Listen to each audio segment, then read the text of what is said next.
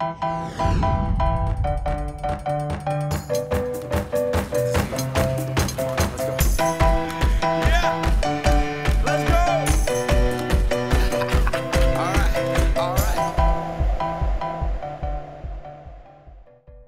schönen guten Tag, meine Damen und Herren. Jetzt haben wir einen Perspektivwechsel, weg vom DQR, von curricularen Fragen und ähnlichem, Anerkennungsfragen hin zu der Frage, ja, was kostet lebenslanges Lernen, wie kann, wie sollte es finanziert werden, wie wird es finanziert.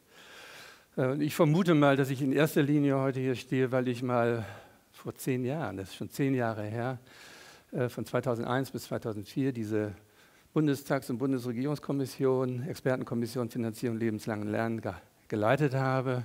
Wir haben drei Jahre intensiv gearbeitet, wir haben Gutachten eingeholt, Expertisen und haben einen, wie ich nach wie vor finde, einen schönen Abschlussbericht vorgelegt, der leider das Schicksal hatte, dass äh, kurz nach der Übergabe die Regierung wechselte und damit sozusagen die Ansprechpartnerin, die Ministerin für Forschung und Wissenschaft wechselte und meinte, das, was wir für eine rot-grüne Ministerin geschrieben haben, das konnte eine schwarz-gelbe nicht mehr übernehmen. Das, so geht es einem manchmal und so geht es manchmal auch Kommissionen. Aber ich glaube nicht, dass wir, wir haben auch nicht umsonst gearbeitet, aber auch nicht vergeblich, würde ich das mal so ausdrücken. So, ich werde zum Teil auf das zurückkommen, was wir in dieser Kommission erarbeitet haben, weil vieles von dem überhaupt nicht veraltet ist und nicht überholt ist. Das liegt daran, dass auch wenig von dem aufgegriffen wurde bis, bis heute von der Politik und daher durchaus noch der Umsetzung harren könnte. Also ich habe eine eher Makroperspektive, die ich Ihnen biete. Ich ordne auch so ein bisschen die Finanzierung der Weiterbildung, sage ich jetzt mal, in die Gesamtfinanzierung des Bildungssystems ein, aber konzentriere mich nachher dann schon auf die Finanzierung der Weiterbildung. Und damit kommt gleich ein Punkt hinein in meine Präsentation, äh, die wichtig ist. Man kann das lebenslange Lernen in zweifacher Weise definieren. Man kann es einmal definieren, und das war sozusagen die Definition, mit dem unser Auftrag verknüpft war, das, äh, das Lernen von Menschen, die eine Ausbildung abgeschlossen haben. Das kann sein eine Berufsausbildung, äh, das kann auch sein ähm, ein Studium, beziehungsweise Menschen, die formal ihre äh, Schulkarriere abgeschlossen haben, aber ohne Abschluss. Aber sagen, äh, alles, was davor gelagert ist, äh, war bei uns außen vor. Das ist aber schon führt zur zweiten sagen wir, Definition des lebenslangen Lernens. Man kann das ja auch so definieren, dass man sagt, von der Wiege bis zur Bahre. Das ist sozusagen eine sehr weite Diskussion. Und ich beschäftige mich zurzeit mit, mit der zweiten Variante, aber nicht heute hier, sondern äh, ich mache für die Bertelsmann Stiftung auch so eine Art Expertise über lebenslanges Lernen, Finanzierung lebenslanges Lernen, aber das wirklich über eine Lebensbiografie hinweg. Aber ich bin noch nicht fertig und deshalb äh, werde ich dazu hier auch nichts sagen. Oder es ist nur ein Ausschnitt. Also was werde ich Ihnen vortragen? Ich habe eben gehört, und das finde ich gut, dass nach mir äh, jemand sprechen wird, der das aus der Mikroperspektive, aus seiner eigenen Lebensperspektive auch nochmal darstellt, wie er sein, sein Studium, sein Aufstiegsstudium finanziert hat, was es ihn gekostet hat und so weiter. Also ich habe eher die gesellschaftliche, die Makroperspektive. Ich fange an mit ein paar Teilnahmebefunde aus äh, dem jüngsten Bericht, äh, aus dem jüngsten Edu Education, äh, ja, Education Adult Survey, äh, der in, inzwischen äh, europaweit erhoben wird, aber da eben auch für Deutschland Daten hat will dann auch nochmal an bestimmten Punkten zu, Arbeit, zu der Arbeit unserer Kommission zurückkommen. Ich werde dann Ihnen etwas vorstellen über Ausgabenstrukturen, vor allem der öffentlichen Hände für Bildung und Weiterbildung, aber auch äh, aus der betrieblichen Perspektive. Ich werde etwas äh, zum Ressourcenspektrum sagen. Sie werden sehen, wir haben, und ich tue das auch heute immer noch, fasse Ressourcen etwas weiter als nur die Geldfrage. Äh, ich werde Ihnen kurz sagen, in welchem Raum von Finanzierungsinstrumenten so eine Diskussion immer stattfinden kann, wenn es um Finanzierung nicht nur des lebenslangen Lernens geht. Ich werde dann noch mal ganz kurz einführen und Ihnen vorstellen, die Empfehlungen, die wir damals gemacht haben und die an vielen Stellen nicht umgesetzt und damit nicht überholt sind. Und ganz zum Schluss eine kleine Vision wie vielleicht in Zukunft äh, Weiterbildung und dieser Teil des lebenslangen Lernens finanziert werden könnte. Ich fange jetzt mal an mit äh, Beteiligungsbefunden, äh, das sagen aus dem äh, AES, wie das so schön heißt. Sie sehen hier äh, zwischen 1991 und 2012 die Entwicklung, so ein bisschen äh, uneben. Äh, gerade diese Phase hatte mal Unruhe erzeugt, weil man dachte, oh, oh, in, in einem Zeitalter, in dem so intensiv über lebenslanges Lernen diskutiert wird, äh, scheint es rückläufig zu sein, zumindest sagen wir, was äh, die Ressourcen angeht oder die Teilnahmequote, auch das Interesse daran. Aber Sie sehen dann plötzlich gab es dann 2012 wieder einen großen Sprung nach vorne. Nun äh, ist diese Weiterbildungsbeteiligung nicht äh, gleichmäßig über alle möglichen Merkmale der Teilnehmenden verteilt. Hier sehen Sie, dass in Abhängigkeit des Alters oder von Altersgruppen vor allen Dingen hier am Ende, ne, da ab 55 plus, äh, deutlich etwas abfällt. Gleichzeitig aber, wenn Sie genauer hingucken, können Sie sehen, dass dort äh, in den letzten äh, fünf Jahren zwischen 2007 und 2012 der stärkste Zuwachs stattgefunden hat. Also das Alter wurde früher immer als ein Grund genannt, weshalb sagen wir, ab 50, ab 55 die Weiterbildungsquote sehr niedrig gewesen ist, unter 30 Prozent, zum Teil zwischen den Geschlechtern noch unterschiedlich. Und man hat das immer aufs Alter zurückgeführt, nach dem Motto, ne, vielleicht hat man noch die alte These im Hinterkopf gehabt, ne, was, man, was Händchen nicht lernt, lernt Hans nimmer mehr. Und vor allen Dingen, wenn Hans dann über, oder auch äh, Annemarie über 50 oder 55 ist, dann können sie so nicht mehr lernen. Und das schlägt sich da nieder. Das war aber eine falsche Annahme. Wir haben damals äh, erstmalig, muss ich sagen, äh, eine, eine Expertise in Auftrag gegeben, die kam zu dem Schluss, es liegt nicht am Alter selbst, sondern es liegt an der Erwerbsquote ab 50, ab 55. Die Erwerbsquote war zu dem Zeitpunkt bei 30, 33 Prozent. Inzwischen liegt sie bei 61, fast 62 Prozent. Das heißt also, es gibt einen engen Zusammenhang zwischen der Weiterbildungsteilnahme, ich sage mal ab 50, ab 55 und der Erwerbsquote der Beschäftigungsfähigkeit. Also die eigentliche Ursache liegt nicht im Alter, sondern wenn überhaupt in der Erwerbstätigkeit. Diese Altersgruppen waren dann immer im, im Fokus der Aufmerksamkeit. Alte müssen mehr lernen, wurde dann plötzlich gesagt. Aber äh, sie tun es inzwischen, weil sie auch länger arbeiten. Das ist ein interessanter Punkt. Hier sehen Sie das Ganze nochmal auch nach Alter für die Erwerbstätigen. Und da sehen Sie eben auch diesen deutlichen Zuwachs. Das ist die Altersgruppe wo äh, am, am, klarsten eigentlich ein, ein Trend äh, erkenn, erkennbar ist in der Weiterbildungsteilnahme. Migrationshintergrund ist auch ganz deutlich ein Einflussfaktor. Sie sehen eben hier, dass egal wo Sie hingucken, vor allen Dingen auch bei der betrieblichen Weiterbildung und bei anderen, die äh, Personen, die einen Migrationshintergrund hat, deutlich weniger partizipieren als die, die keinen Altershinter äh, Migrationshintergrund haben. Äh, es gibt noch eine Reihe anderer Merkmale der Teilnehmenden, äh, die deutliche Unterschiede zwischen den Merkmalsträgern zeigen. Beispielsweise ist es ganz klar, ich zeige jetzt nicht alle Folien, das würde zu lange dauern, äh, Arbeitslose. Menschen, die arbeitslos sind, haben signifikant niedrigere äh, Weiterbildungsbeteiligung über alle Altersgruppen als die, die erwerbstätig sind. Äh, das gilt sowohl für Vollzeiterwerbstätige wie auch für Teilzeiterwerbstätige. Es gibt einen ganz starken Zusammenhang zwischen Schulabschluss und Weiterbildungsteilnahme, also schon der Schulabschluss. Äh, jetzt wird immer unterschieden zwischen niedrig, mittel und hoch zeigt äh, eindeutig äh, äh, die Wirkungsweise des, der, Schulabschlüsse. Die mit hohem Schulabschluss haben eine deutlich höhere Weiterbildungsbeteiligung als die mit ganz niedrigem. Das ist dreimal so hoch. Das Gleiche gilt für die Berufsbildungsabschlüsse. Das Gleiche gilt für die Stellung im Beruf und für die Position in den Organisationen. Also all das zeigt, dass es Merkmale gibt, die nicht neutral sind im Hinblick auf die Weiterbildungsteilnahme und äh, das hat auch uns damals in der Kommission sehr stark äh, beschäftigt. Es war nämlich die Frage, wo äh, wird in unserer deutschen, bundesdeutschen Gesellschaft unterdurchschnittlich in Weiterbildung, in Lernen, in lebenslanges Lernen für Erwachsene investiert und wo müsste auch Förderung stattfinden. Förderung unter anderem auch in, auf finanzielle Art.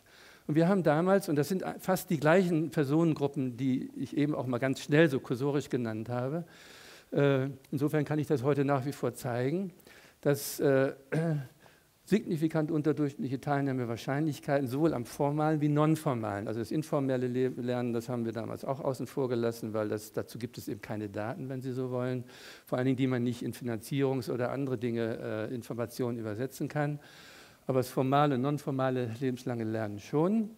Also hier steht es nochmal, äh, die formale, geringe oder fehlende formale berufliche Qualifikation ist ein Merkmal, das äh, von Weiterbildung und Lernen im Leben abhält. Aber auch, das ist ein Gesichtspunkt, den man selten findet, aber den haben wir äh, durch unsere Expertisen, die wir damals vergeben haben, auch äh, herausgefunden. Wissensarme und, und obsolet, obsolet, obsoleszenzträchtige Tätigkeiten. Menschen, die dort arbeiten, nehmen deutlich weniger an Weiterbildung teil als andere, die in wissensstarken oder wissensintensiven beispielsweise Tätigkeiten zu tun haben. Das korreliert auch ganz häufig mit traditionellen Arbeitsorganisationen, also nicht mit schlanken Lean-Organisationen, sondern mit sehr stark hierarchisierten Arbeitsorganisationen. Äh, Personen ohne Erwerbsstatus bzw. mit prekärem Erwerbsstatus, auch das gilt heute nach wie vor Arbeitnehmer, Arbeitnehmerinnen in Kleinbetrieben, das KMU-Problem. Äh, Großbetriebe haben eine deutlich höhere Teilnahmequote als die KMUs. Frauen mit Kindern, das ist übrigens ein Gesichtspunkt, der auch wieder relativ selten benannt wird. Es wird häufig von Berufsrückkehrerinnen gesprochen, das war heute äh, Vormittag auch der Fall. Äh, wir haben damals in einer anderen Expertise die Botschaft erhalten, dass die Zahl der Kinder eine große Rolle spielt für die Weiterbildungsintensität äh, von Frauen oder von Müttern, muss man sagen. Und insbesondere alleinerziehende Frauen haben eine ganz, ganz niedrige äh, Weiterbildungsbeteiligung.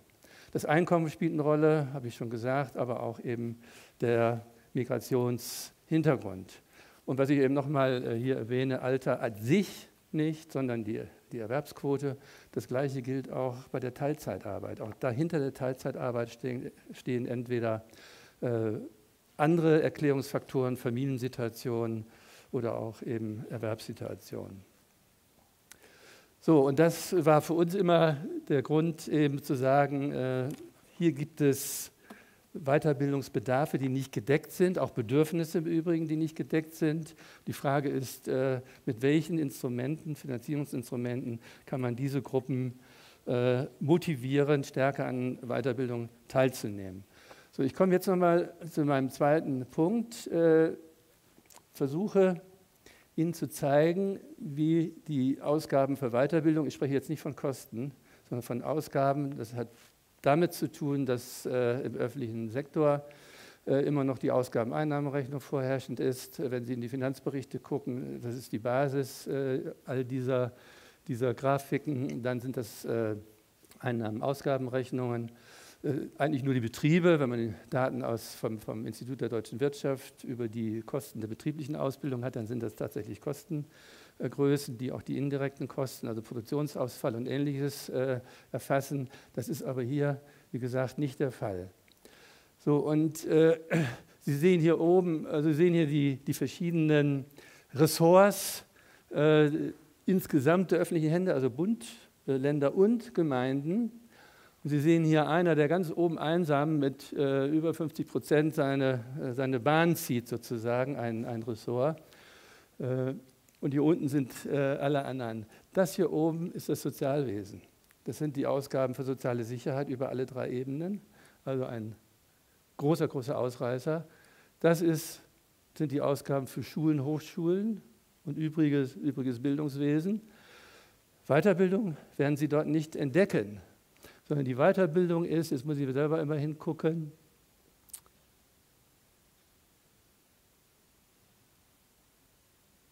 Sonst, äh, Moment, irgendwo muss noch sonstiges Bildungswesen sein, aber es ist, glaube ich, gar nicht da. Also irgendwo hier unten, hier ganz unten äh, befindet sich äh, die Weiterbildung. Das wird aber jetzt klarer, wenn ich äh, das Sozialwesen mal rauslasse. Und da sehen Sie hier, hier sind wieder die Schulen und Hochschulen. Und komisch, irgendwas fehlt. Sonstiges, irgendwo ist es hier drin. Gut, gehe ich weiter. Äh, die Frage, wer trägt jetzt äh, zur Finanzierung bei? Das sind eben Bund, Länder, Gemeinden und insgesamt. Sie sehen aber hier, der Hauptfinanzier aller Bildungsausgaben, das ist wichtig, sind alle öffentlichen Bildungsausgaben drin, sind die Länder. Hier unten ist der Bund ganz schwach und das sind die Gemeinden. Also der Bund, das sehen Sie immer wieder, ist im Bildungswesen insgesamt nicht sehr aktiv als Finanzier. Das hat natürlich mit dem Föderalismus zu tun und damit, dass die Länder sozusagen die Kulturhoheit haben. Und das sehen Sie jetzt auch, wenn man das jetzt prozentual sagt, eine ganz stabile wie sagen wir, Verteilung der Finanzierungslast für das gesamte Bildungswesen zwischen Bund, Ländern und Gemeinden über ja, 30 Jahre, 40 Jahre sogar in äh, Deutschland. Jetzt haben wir es mit dem sonstigen Bildungswesen. Genau. Hier, das sind die Bildungsausgaben, nur die Bildungsausgaben, alle anderen Ressorts sind draußen, also das Bildungs der öffentlichen Hände wieder insgesamt. Das ist sozusagen die Entwicklung von 1975 bis 2012. Und äh, das ist wiederum die Entwicklung der Schulausgaben, das ist die Entwicklung der Hochschulen und da haben wir das sonstige Bildungswesen da unten und da ist die Weiterbildung. Also wenn Sie so wollen, das lebenslange Lernen für Erwachsene. Sie sehen also, welches Gewicht, ne, welches Gewicht, äh, ich sage mal, das lebenslange Lernen für Erwachsene äh, in unserer Gesellschaft hat, wenn wir es, jedenfalls innerhalb, äh, sagen mal, äh, des öffentlichen Sektors, des, der öffentlich finanzierten Bildung, äh, wenn wir das uns betrachten. So, und hier ist es nochmal in Anteilen gezeigt. Sie sehen hier, äh, das ist der Anteil der Schulausgaben, etwas rückläufig, Hochschulen sehr konstant. Äh, hier haben wir Förderung des Bildungswesens und hier haben wir wieder das sonstige Bildungswesen. Das heißt, auch da, innerhalb äh, des Bildungswesens, spielt die Weiterbildung, die öffentliche Finanzierung der Weiterbildung keine sehr große Rolle. Und das ist würde ich mal sagen, das ist der Stellenwert, dem Politik und unsere Gesellschaft, dass wir alle äh, dem lebenslangen Lernen für Erwachsene, der Weiterbildung zumessen. Ist nun mal so. Ich gehe mal weiter, weil wir da auch schon drüber gesprochen haben. Ich mache jetzt einen kleinen Wechsel und komme jetzt zu den Ausgaben für Weiterbildung in Deutschland von 1986 bis 2010. Und da haben wir jetzt, das sind nicht nur die, die öffentlichen Ausgaben, da haben wir jetzt auch die Betriebe und die Individuen als Mitfinanziers. Äh, das ist die Entwicklung der Gesamtausgaben. Diese blaue Kurve, die Ausgaben der betrieblichen Weiterbildungsausgaben. Diese dunkle hier sind die individuellen Bildungsausgaben. Das heißt, was die Individuen tragen. Jetzt muss ich aber sagen, zwei Probleme sind in diesen Daten. Das eine Problem ist dieser Hubbel hier bei den Betrieben. Äh, die Statistiken zeigen den an, aber sie erklären den nicht. Ich habe bisher keine Erklärung gefunden, woran dieser Ausreißer im Jahre 2002 liegt. Ich vermute, ich vermute, dass äh, in diesem Jahr jemand in die, in die Ausgaben der Betriebe auch die indirekten Kosten einkalkuliert hat die ja immer noch dann äh, sozusagen das, den Gesamtwert der, äh, der, der Investition erhöhen. Das ist meine Vermutung, das schlägt sich natürlich dann auch hier nieder.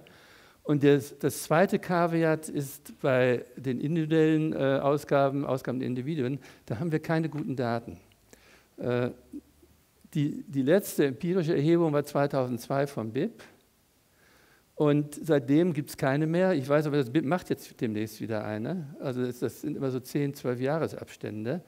Und äh, was man in manchen Studien findet, und wir haben das damals auch gemacht, wir haben äh, einfach mit 2% hochgerechnet. Ja, das ist natürlich total willkürlich, aber es ist unwahrscheinlich, dass die individuellen Ausgaben zurückgegangen sind. Das ist sehr unwahrscheinlich, weil der Trend eigentlich in unserer Gesellschaft ist, dass immer mehr äh, Bildungsausgaben eher auf die, auf die privaten, auf die Nutzer verlegt werden. Und das werden Sie gleich nochmal sehen, wenn wir äh, in einen anderen Weiterbildungsbereich schauen, nämlich den der allgemeinen politischen, kulturellen Weiterbildung.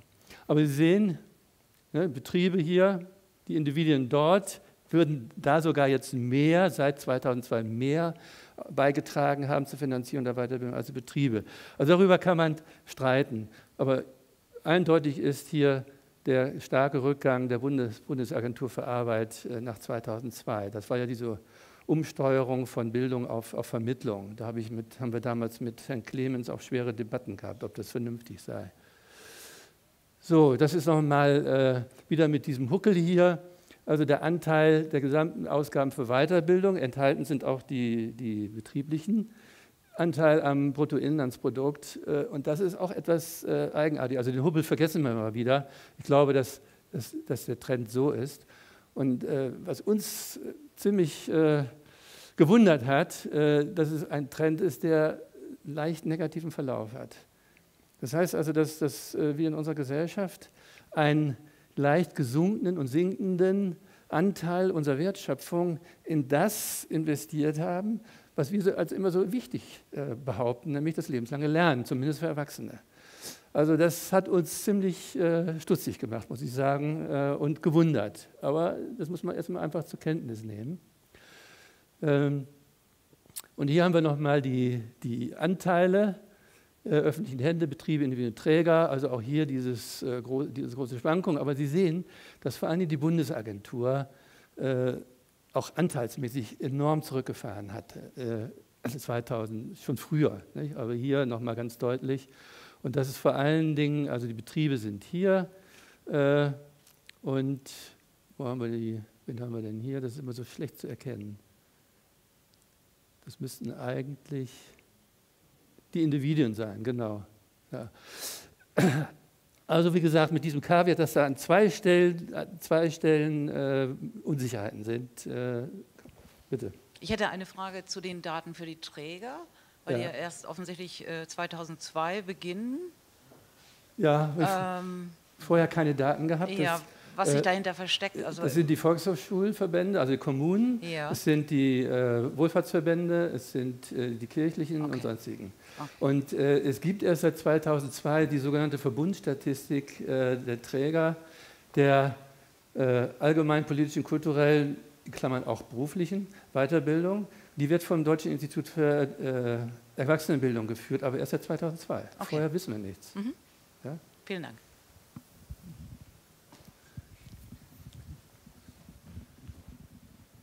So, hier haben Sie nochmal äh, die Gesam jetzt in, in, in, Euro die Summen, ziemlich konstante Entwicklung, also kaum ein, ein nennenswerter Anstieg. Was nicht, das führt natürlich dazu, dass insgesamt der Anteil am, am BIP äh, tendenziell zurückgeht, weil das BIP ja immer weiter gewachsen ist. Äh, hier haben Sie nochmal die Finanzierungsstruktur im Weiterbildungsverbund. Das ist wichtig. Sind die Betriebe jetzt nicht drin.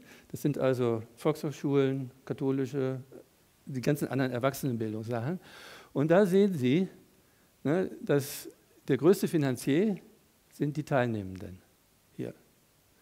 Die etwa 35 Prozent an den Volkshochschulen sind, ist inzwischen 50 Prozent äh, der Ausgaben, die die Teilnehmergebühren ausmachen. Hier unten haben wir wieder die Trägerausgaben. Ja gut, also das ist eigentlich die Botschaft, äh, dass es in bestimmten Bereichen der Weiterbildung die Individuen sind, die den größten Anteil der Finanzierung tragen. Hier ist das Ganze nochmal in Millionen, das kann ich auch übergehen. Und äh, hier haben Sie nochmal sozusagen die Entwicklungsstruktur der öffentlichen Ausgaben für die Weiterbildung, also nach Bund, Ländern, Kommunen und der Bundesagentur. Und das ist wiederum die Bundesagentur, die deutlich zurückgefahren hat. So, also jetzt haben Sie so einen gewissen Eindruck, äh, wie die Finanzierung der Weiterbildung, sowohl äh, der Weiterbildung insgesamt, auch unter Einbezug der Betriebe, immer mit diesen beiden Kaviats da, aber auch äh, im engeren Sinne des sogenannten Weiterbildungsverbundes sich entwickelt haben, in den letzten, zum Teil in einem langen Zeitraum, zum Teil in einem kürzeren Zeitraum. Äh, Im Ergebnis, äh, wenn man das wieder zurückspiegelt auf die Partizipationsgruppen, äh, sind wir jedenfalls damals, das war im Grunde auch der Auftrag, zu dem Schluss gekommen, äh, im, im, internationalen Vergleich ist Deutschland Mittelfeld, was die, die Weiterbildungspartizipation, was die Ausgaben für Weiterbildung äh, und für lebenslanges Lernen, sage ich mal, auch der Anteil am, am Bruttoinlandsprodukt angeht. Also äh, müsste, sollte in unserer Gesellschaft mehr investiert werden, und zwar indem diese sogenannten Zielgruppen, die ich vorhin genannt habe, diese acht, neun Zielgruppen, die bisher deutlich unterdurchschnittlich partizipieren konnten, äh, um die zu fördern und ihnen Mittel in die Hand zu geben, weil die Grundthese war, da fehlt es an Ressourcen. Und wenn wir äh, überlegen, was heute und gestern diskutiert worden ist, also Aufstieg durch Bildung, jetzt in diesem äh, speziellen Fall jetzt für eine ganz spezielle Berufsgruppe, für Techniker, da, dazu kann ich jetzt konkret im Moment noch nichts sagen, vielleicht später, wenn ich zu BAföG komme. Äh, da geht es im Grunde ja auch darum, in diesem Projekt offene Hochschulen äh, Personengruppen in die Hochschulen zu kriegen, die bisher nicht drin waren. Und das heißt, auch da der, der Ressourcenbedarf steigt zunächst mal. Der wird im Moment getragen vom BMBF mit 100, 200, 300 Millionen Aufstieg durch Bildung. So viel ist es. Äh, aber die Frage ist, was passiert, wenn nach sechs Jahren äh, die Förderung ausgelaufen ist? Äh, übernehmen die Länder es? Müssen die ganzen Projekte wieder eingestampft werden? Aber im Moment jedenfalls gibt es einen Finanzierungsbedarf. Und meine Sichtweise ist die, dass das eigentlich, wenn die Gesellschaft, wenn die Politik das zum Ziel erklärt hat, die Hochschulen zu öffnen für Berufsgruppen, für Menschengruppen, die bisher nicht in den Hochschulen drin waren, die eine Berufsausbildung haben oder ähnliches, jedenfalls keinen formalen Zugang, dann ist es eine Grundaufgabe der Hochschulen und die muss im Grunde auch grundfinanziert werden. Das habe ich auch in der Jury ziemlich deutlich mal gesagt, der Aufstieg durch Bildung, aber das verhallt dann ja irgendwo. So, äh, was, äh, was mir wichtig ist, wenn man über Ressourcen redet, redet man meistens nur über Geld. Aber im Zusammenhang mit Lernen und mit lebenslangem Lernen ist das zu kurz gesprungen. Geld ist wichtig, das ist völlig klar. Am Ende kommen wir immer wieder darauf zurück. Aber wir haben damals in der Kommission äh, gesagt, es gibt unterschiedliche Ressourcen und die müssen alle da sein, damit lebenslang gelernt werden kann. Und was meinen wir damit? Also hier psychische Ressource Zeit ist eigentlich klar, Ressource Geld, physische Ressourcen, aber auch Rahmenbedingungen oder institutionelle Rahmenbedingungen mit psychischen Ressourcen, das ist heute gelegentlich angesprochen worden, die Motivation der Lerner, die Anstrengungsbereitschaft, aber auch so etwas wie eine Entscheidungsfähigkeit. Aber auch die Organisation, wenn ich jetzt an die Betriebe denke, auch die müssen wollen. Sie müssen wollen. Wenn die nicht wollen, passiert auch nichts. Also das ist ziemlich eindeutig, aber das muss man auch noch mal, immer wieder mal betonen. Zeitliche Ressourcen, immer die alte Frage in den Betrieben, lernen während der Arbeitszeit, in der Freizeit, sowohl als auch wie auch immer. Wir haben dann sehr äh, viel diskutiert, auch Vorschläge gemacht über Lernzeitkonten äh, auf der Basis von Gesetzen oder Tarifverträgen oder Betriebsvereinbarungen. Da gibt es inzwischen ja eine ganze Menge. Äh, also Lernzeitkonten in der einen Variante, individuelle Lernzeitkonten auf Betriebsebene als eine andere Variante oder Lernzeitkonten bei irgendeiner, äh, sagen wir mal, Bundesagentur und man könnte das kombinieren, Lernzeitkonten mit monetären Bildungskonten. Also all diese Dinge, die haben wir damals diskutiert, die heute zurzeit nicht in der Diskussion sind, kann ich nur sagen. Also immer noch ungelöst. Aber dazu gehören physische Ressourcen, das ist klar. Also nicht nur Gesundheit der Lernenden, das ist ein Gesichtspunkt, der auch häufig äh, außen vor gelassen wird. Äh, wer nicht gesund ist, tut sich schwer beim Lernen oder kann gar nicht erst lernen. Räume, Material und so weiter, aber auch eben das lehrende, motivierende Personal. Äh, wir haben dann damals äh, gesagt, auch institutionelle Ressourcen müssen, spielen eine Rolle, auch für die Motivierung. Zum Beispiel, ob ein, ein, ein Weiterbildungsprogramm zertifiziert wird, ob es einen Masterabschluss gibt. Darüber haben wir dann heute Vormittag und gestern gesprochen. Auch die Frage, ob es Qualitätsstandards gibt, Qualitätssicherungsmaßnahmen, die einzuhalten sind, die häufig ja auch Lernbedarfe erzeugen, Informationssysteme, Transparenz, Kündigungsschutz, all solche Dinge, Produkthaftungsnormen können institutionelle Ressourcen sein, die Lernen entweder erzwingen oder zumindest nahelegen. Also Sie sehen daran, das ist ein ziemlich weiter Begriff von Ressourcen, den wir benutzt haben, den ich aber im Zusammenhang mit Lernen für sinnvoll halte. Und wir haben ihn alle für sinnvoll gehalten. Nun, welche Instrumente stehen eigentlich im Prinzip zur Verfügung, je nachdem, wer nun äh, sagen wir, Instrumente aktivieren soll, die Selbstfinanzierer, das heißt die Lerner. Und da ist es im Grunde ganz einfach. Ne? Worauf kann ein Lerner zurückgreifen? Entweder auf sein laufendes Einkommen, auf sein vergangenes, dann hat er Vermögen gebildet, oder auf sein zukünftiges. Dann macht er Kredit oder Darlehen. Mehr gibt es nicht. Ganz simpel. Das gilt im Grunde auch für Betriebe. Entweder nehmen sie auf dem laufenden Umsatz, entweder haben sie was zurückgelegt oder Sie nehmen auch ein Darlehen und Kredit auf. Oder Sie setzen von der Steuer ab. Das ist noch eine andere Möglichkeit.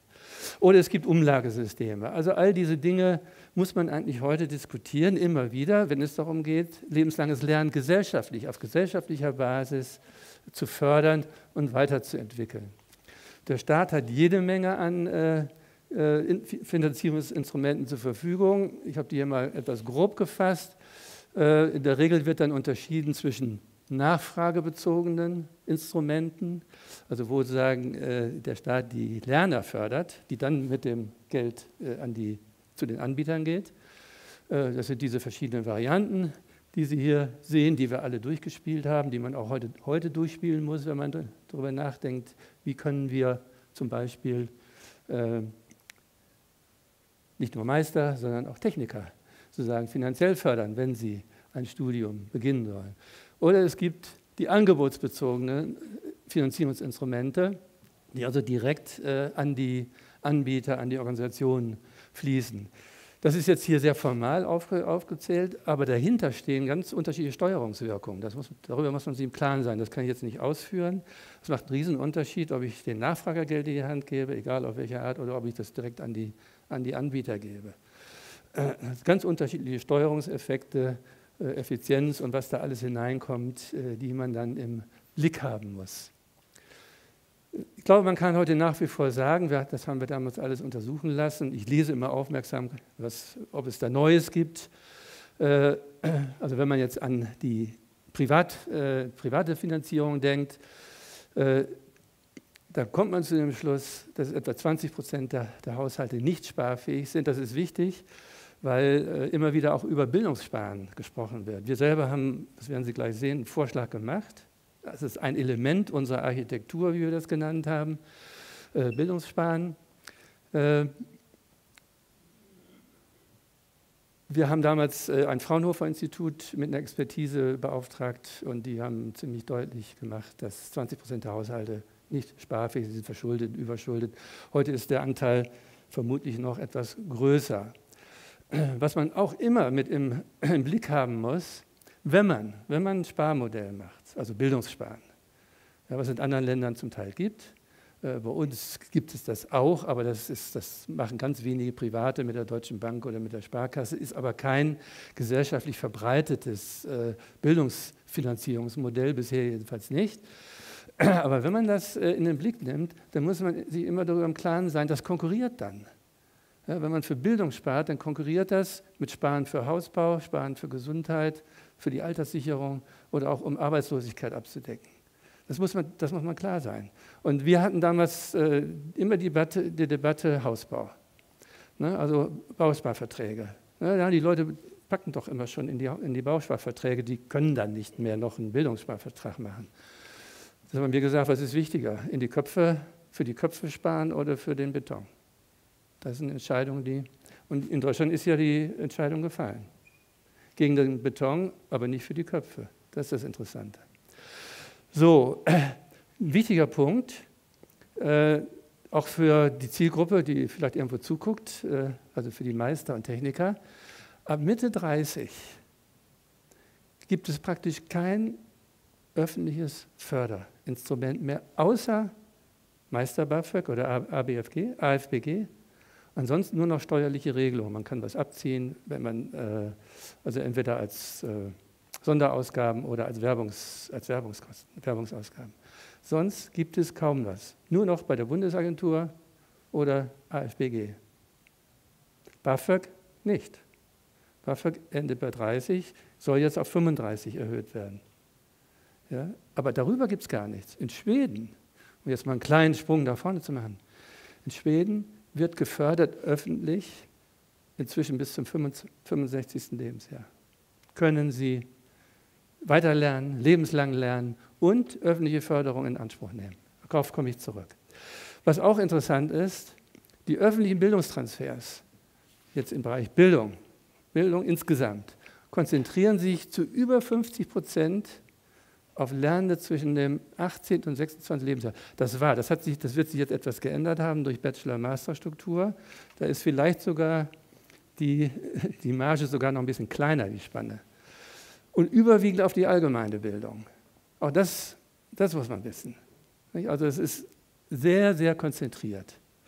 Ja, und andere, wie hier steht, haben kaum eine Chance. So, wann haben wir gesagt, äh, immer mit Blick auf diese verschiedenen äh, Zielgruppen, wir müssen äh, erstmal Leuten die Chance geben, Abschlüsse nachzuholen. Was geschieht ja auch schon über zweiten Bildungsweg und so weiter. Also Nachholen von schulischen, von Hochschulabschlüssen, das wär, da wären jetzt sozusagen die Techniker und Meister jetzt drin, ne, wenn es um den Master beispielsweise geht. Oder hier waren sie Aufstiegsfortbildung.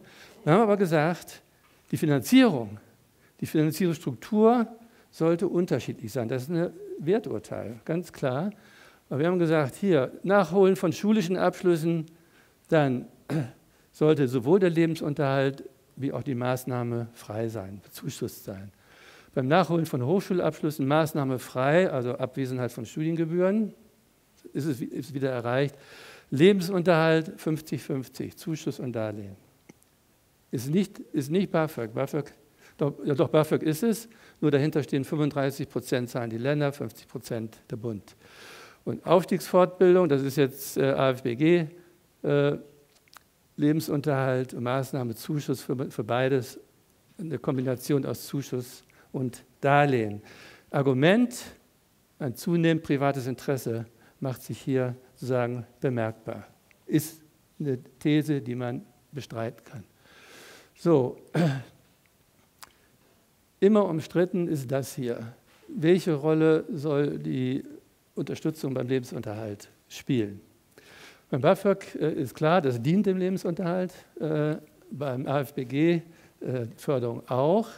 Und wir haben hier nochmal, das gilt ja nach wie vor, das, ist, das gilt auch heute hier, die öffentlichen Transfers für die verschiedenen Zwecke, die an die Familie oder an die Lernenden gehen. Hier den Status quo, Kindergeld, Kinderfreibetrag, BAföG, dann bei der Berufsausbildung SGB III, Arbeitslosigkeit und äh, Berufsausbildungsbeihilfen. Das ist wichtig hier, bei Nachholen schulischer Abschlüsse Förderung nur in Ausnahmefällen, auch das gilt heute noch. Und dann kommt bei der Aufstiegsfortbildung das AFBG. Wir haben gesagt, diese Lücke hier, die muss man kurz, kurzfristig schließen.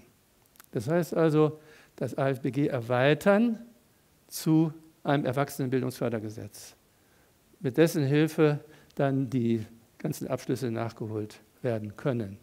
Das war sozusagen unser relativ kurzfristiger Vorschlag, der immer noch im, in der Welt ist. Die SPD jedenfalls äh, diskutiert das immer noch heute, auch äh, in der Großen Koalition.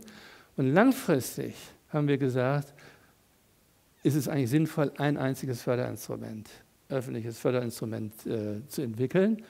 Das fängt schon an hier, was immer wieder mal versucht worden ist, was zum Beispiel äh, Schröder mal, Gerd Schröder mal kurzfristig in die Tonne gehauen hat, nämlich die Lerner ab einem bestimmten Alter als Erwachsene zu behandeln und äh, das Kindergeld und die Kinderfreibeträge zu bündeln, um zu rechnen eine bestimmte Summe und es den Lernern zu geben. Das wäre ein Bildungsgeld.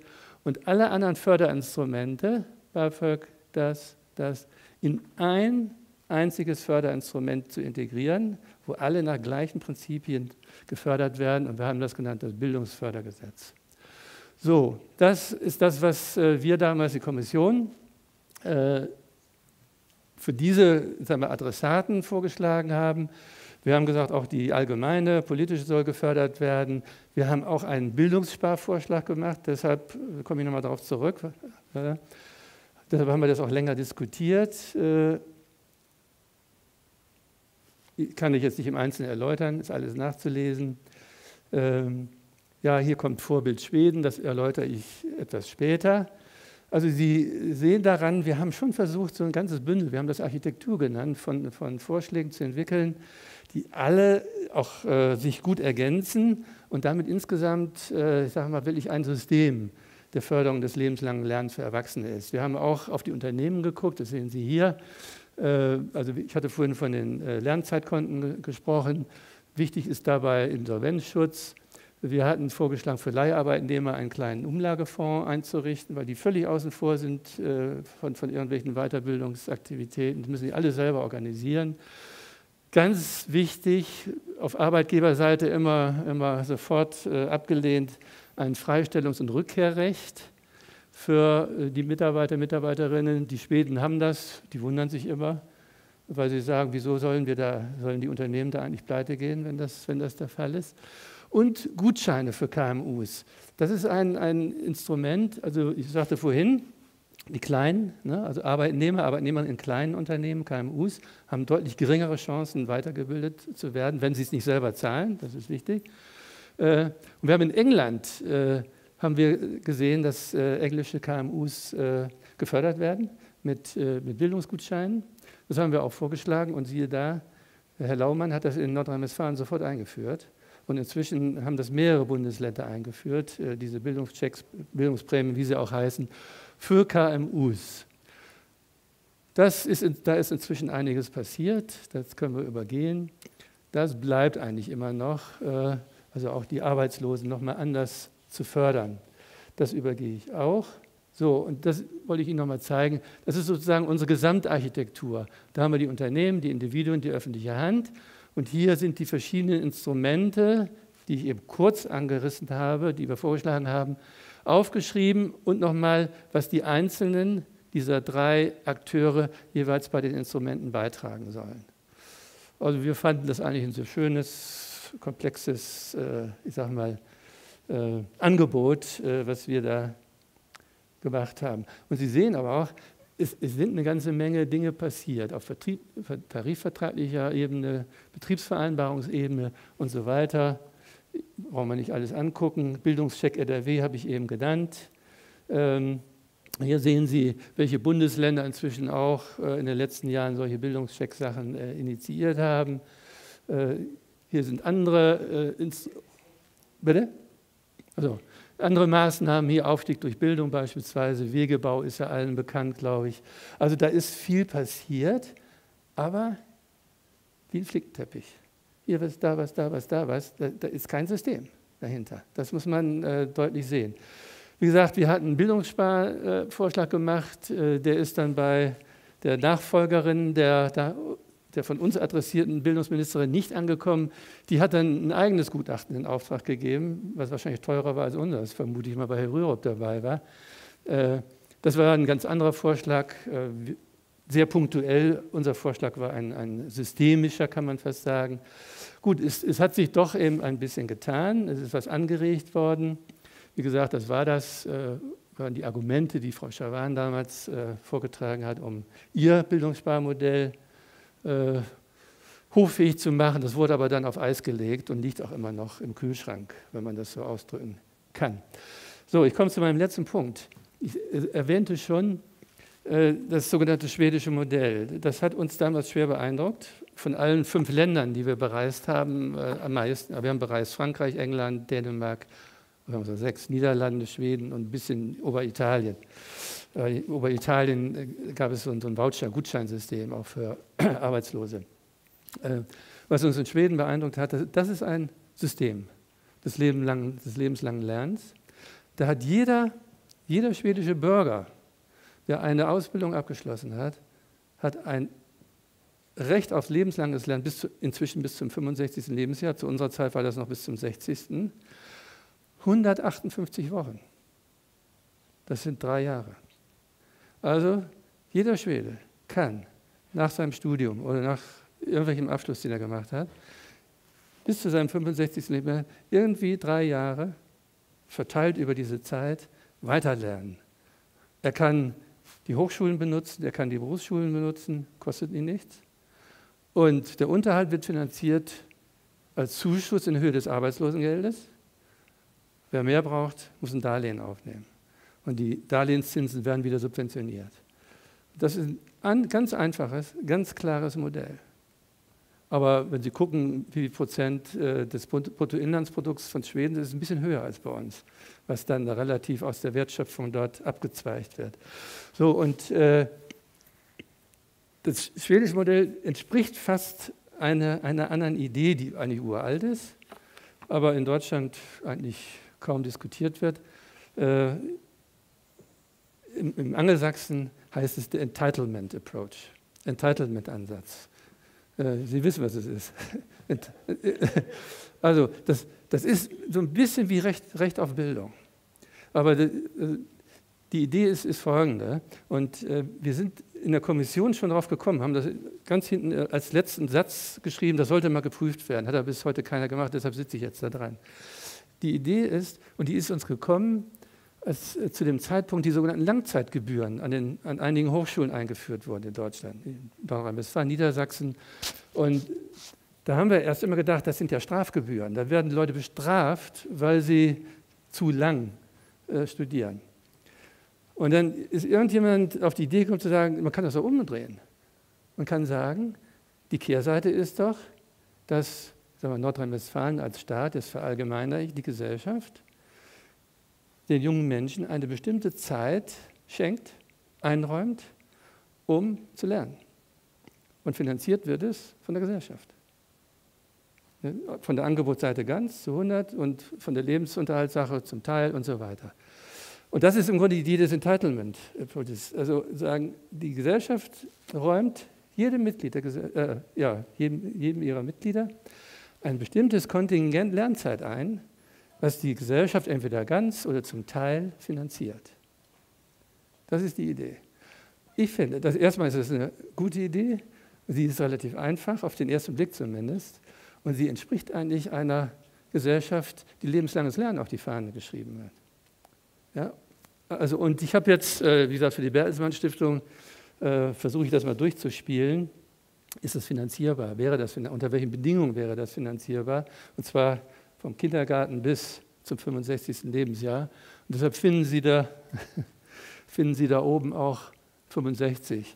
Aber ich habe das hier jetzt nur mal äh, modellhaft ja, mal durchgespielt für vier Jahre, also im Sinne dieses lebenslangen Lernens für Erwachsene, also die schon einen Abschluss haben, für vier Jahre. Das wäre sagen der, der Fördersatz für die Nutzung eines, von Angeboten. Das ist nämlich die durchschnittliche Ausgabe pro Lerner im Jahre 2009.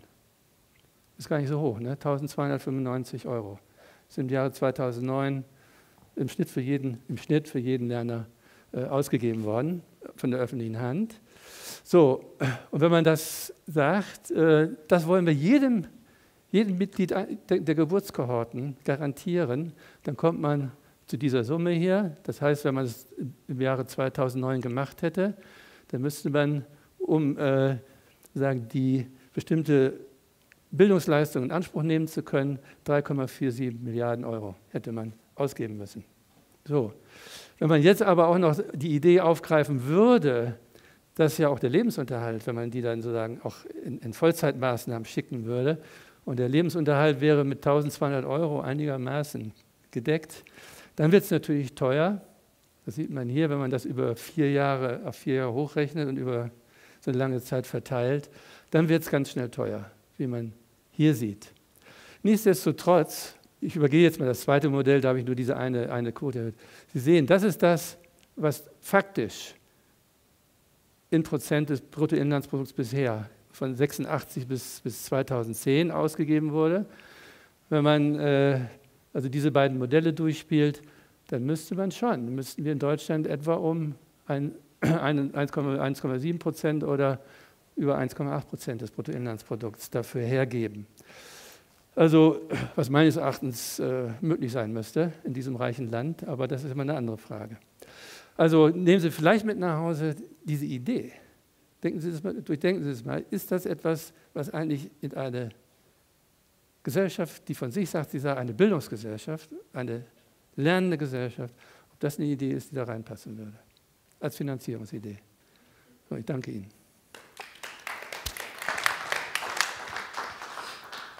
Wenn ich mir Ihre Statistik eben angucke, dann muss ich sagen, alter Schwede, sehen wir da schlecht aus.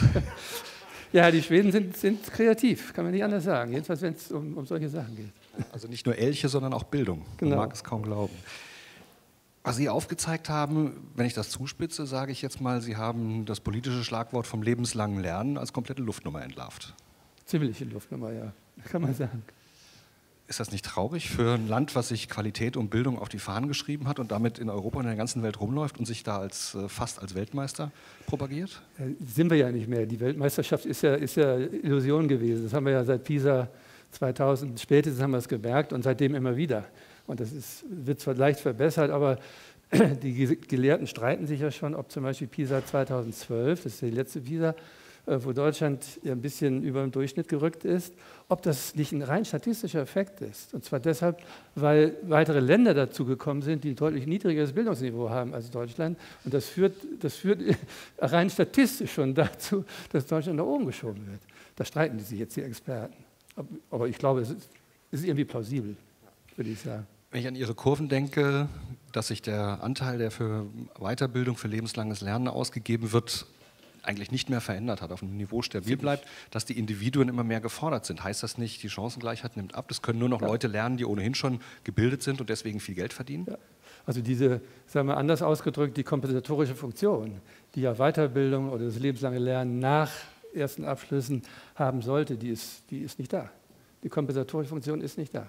Im Gegenteil, das wird fortgesetzt. Das heißt, die, die eigentlich lernen müssten, die grenzen immer weiter aus. Richtig. Haben wir noch Fragen im Publikum dazu? Ja, ich stimme zu. Ich denke, diese Statistik zeigt nicht die ganze Geschichte. Es gibt deutliche Unterschiede. Ich denke, wenn man das Glück hat, in einer größeren Firma, in einer relativ guten Stelle zu sein, dann ist lebenslanges Lernen wirklich erforderlich und wird praktiziert. Ich denke, bei uns auf jeden Fall seit wir Teil des Strabag-Konzerns sind, ähm, wird viel mehr investiert in die interne Fortbildung. Das heißt, wir haben nicht vielleicht die Interesse, dass einer Bachelor-Absolvent ein Master macht auf unsere Kosten, aber durchaus spezielle interne Fortbildungen. Und ähm, ja, deswegen sind die die Privilegierten sozusagen. Und äh, da ist die Erfahrung, das gilt, glaube ich, für, ja, für relativ viele größere Firmen. Das, das ist ein doppelter Effekt. Also einmal, deshalb ist ja auch, sagen wir mal, die, die Problemzone sind die KMUs, auch nicht alle, auch nicht alle, aber da häufen sich eher, sagen wir mal, die Unternehmen, in denen die Arbeitnehmer, Arbeitnehmerinnen deutlich geringere Chancen haben. Äh, in großen, die großen Unternehmen, Betriebe, auch die deutschen, da, ist, da liegt die äh, Beteiligungsquote häufig bei 80, 90 Prozent. Aber auch da wieder Arbeiter, Fachkräfte, Führungskräfte. Ne? Also da auch haben wir die Hierarchie, die unterscheiden sich ganz deutlich in dem Umfang, in dem sie äh, Weiterbildung angeboten kriegen und auch wahrnehmen. Ja, erstmal ganz herzlichen Dank. Also die Faktenschleuder muss ich erstmal verarbeiten. Schwedisches Modell. Drei Jahre bildungsfrei ist ja nicht so viel. Das ist ein knapper Bachelor, ein bisschen ein guter Master. Äh, es spricht eher. Aber für jeden. Für, jeden. Je, für jeden. Ja, ja, aber im ganzen Leben. Ja, ja. Äh, haben sich dadurch die Bildungsanbieter verändert, dass sie eventuell kürzere Bereiche angeboten haben? Oder? Ehrlich gesagt, das haben wir nicht äh, erfahren. Habe ich auch nicht drüber gelesen. Also die äh, das hießen ja die Hochschulen und die berufsbildenden Schulen. Äh, und die, die, die haben ja auch die Volkshochschulen, gibt es in Schweden ja auch sehr stark. Und das ist übrigens interessant. Äh, in den Volkshochschulen sind die meisten Kurse auch gebührenfrei, aber es gibt witzigerweise bestimmte Kursformate, da müssen die Lernenden selber, selber zahlen. Und zwar sind das Kursformate, die haben einen bestimmten Namen, die Lerner selber organisieren äh, ohne dass sie einen Dozenten der Volkshochschule haben.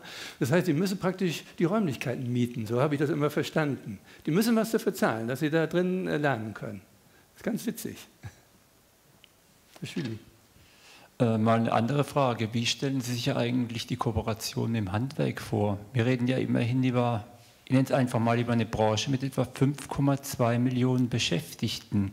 Das Handwerk ist ja im Augenblick in vielen Bereichen außen vor. Ich bin ja auch Mitglied der Vollversammlung der Handwerkskammer Karlsruhe. Mittlerweile gibt es ja Kooperationen zwischen Kammern, Hochschulen oder allgemein. Und das ist manchmal ziemlich verheerend, was da läuft. Wettbewerb um die besten Köpfe. Sie kennen ja das riesige Imageprojekt des Handwerks mit Filmchen, mit diesem, das und jenem. Wir kämpfen um Auszubildende. Welche Perspektiven haben eigentlich die Auszubildenden? Ich gehe in einen Drei-Mann-Betrieb. Ich habe keinerlei Möglichkeit, duale Studiengänge zu besuchen, wie bei der Industrie, Lehre plus Studienplatz oder danach Studienplatz, Bindung am Arbeitsplatz. Ich bin ja eine Sackgasse eigentlich. Und damit haben wir ja eigentlich hier äh, eine ganze Teil der Wirtschaft, ist ja in dem System zum Teil abgekoppelt, wenn man es so nimmt weil äh, Drei-Mann-Betrieb, der Lehrling, so, dann heißt, was willst du machen? Meister. Vom Meister zum Frauenarzt ist ja der große Slogan, den ich bei der öffentlichen Tagung immer wieder sage. So, den kennt ihr ja den Spruch von mir. Aber was passiert mit dem Lehrling? Äh, äh, vom Lehrling zum Bachelor und dann den Betrieb übernehmen? Also ich könnte es mir jetzt einfach machen und sagen, äh, in diesen äh, Bildungschecks-Gutschein-Modellen sind Handwerker ja einbezogen. Das sind ja die kleinen, ne? von, von 1 bis 250 Beschäftigte. Das sind ja auch Handwerksbetriebe. Ne? So, das, das, ist jetzt die einfache Antwort.